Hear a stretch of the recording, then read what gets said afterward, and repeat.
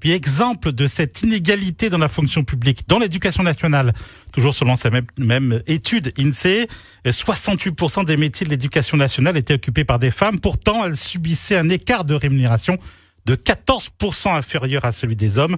Une situation que déplore le SNES FSU par la voix d'Élise Caillère, membre du bureau du syndicat de l'éducation et responsable de la section égalité hommes-femmes, interrogée par Richard Garnier. C'est ce qu'on a constaté effectivement euh, au sein de la fonction publique où on pourrait croire que l'avancement de carrière et les changements d'échelon protègent en fait euh, des inégalités de revenus. Sauf que euh, on constate qu'en Guadeloupe, il y a un écart de 14% de rémunération en faveur des hommes. Ce taux est à 16% en métropole. Et eh bien tout simplement parce que les carrières pour les femmes sont soit hachées, soit interrompues. Et donc en termes de passage à l'échelon supérieur ou passage à la hors classe, l'évolution de carrière est plus lente pour une femme que pour un homme. Normalement, euh, on pourrait penser que l'État travaille et lutte contre ce type d'inégalité et pourtant elle perdure encore.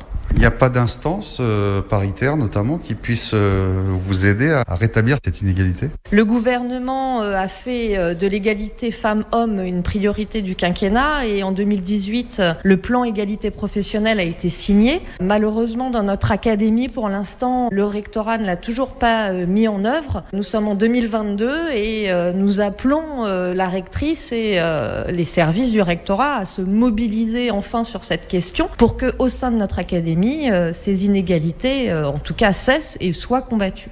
Élise Caillère, membre du bureau du SNES FSU et responsable de la section égalité hommes-femmes.